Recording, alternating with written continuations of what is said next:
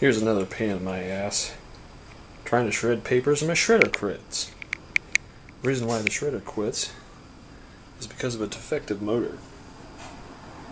Another Chinese, wonderful handcrafted piece of machinery. So I just wanted to show you what it was like when an AC motor develops a short in the armature. And uh, we have this machine on a current limiting variac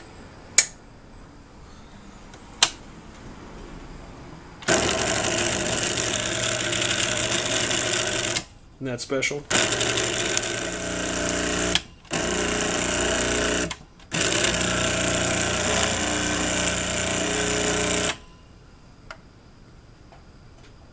Note the smoke. It gets really hot in a hurry.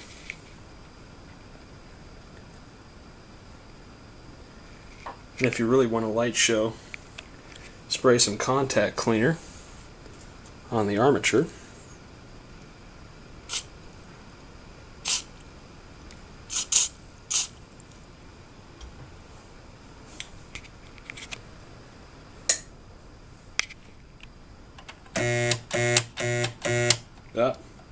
It's seized up.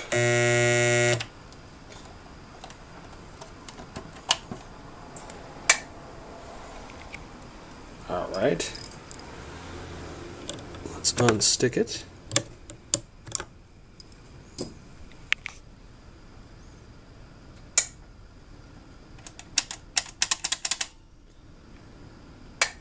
Trip the thermal breaker. That's what freeze mist is for.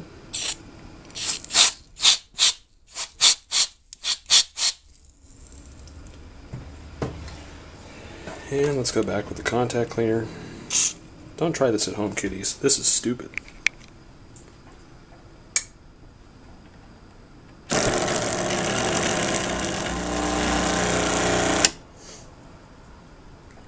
And we got a motor on fire.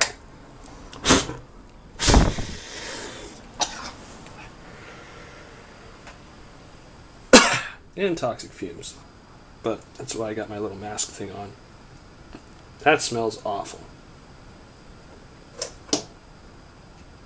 So, just in case you wanted to know what a uh, shorted armature looked like, that's what it was.